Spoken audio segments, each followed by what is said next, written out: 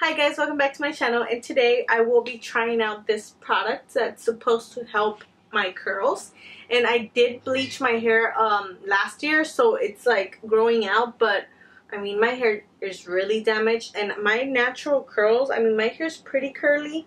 It's kind of like this one, you see that?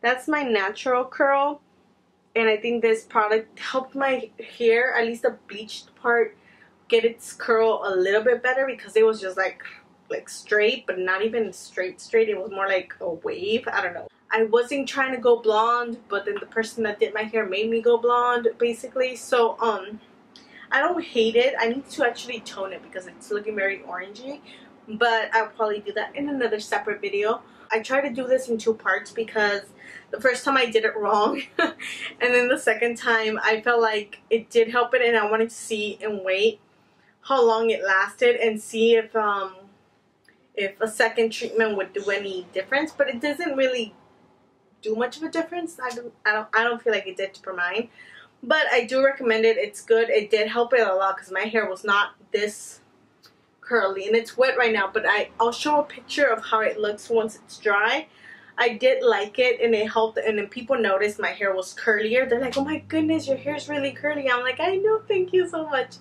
So let's just get started.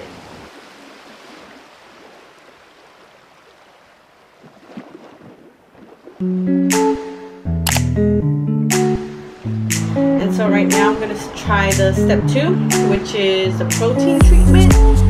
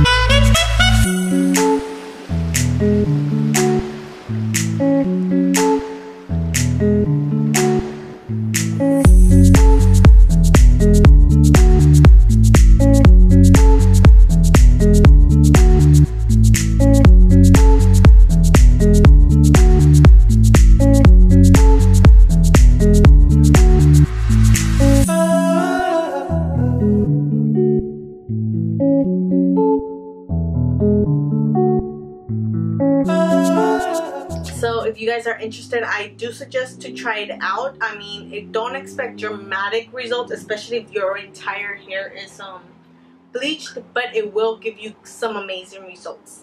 So that's it, you guys. I hope you enjoyed this video, and I'll see you guys next time. Bye.